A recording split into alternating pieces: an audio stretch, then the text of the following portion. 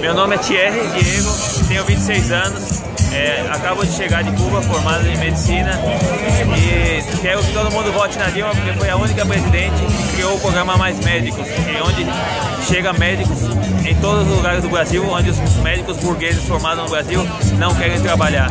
Por isso, vote 13 e vote Dilma.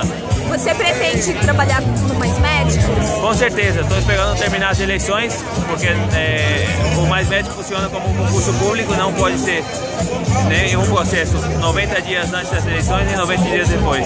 Mas com certeza, se a Cuba nos deu todos os documentos, é, abrindo as inscrições, eu vou participar do programa Mais trabalhar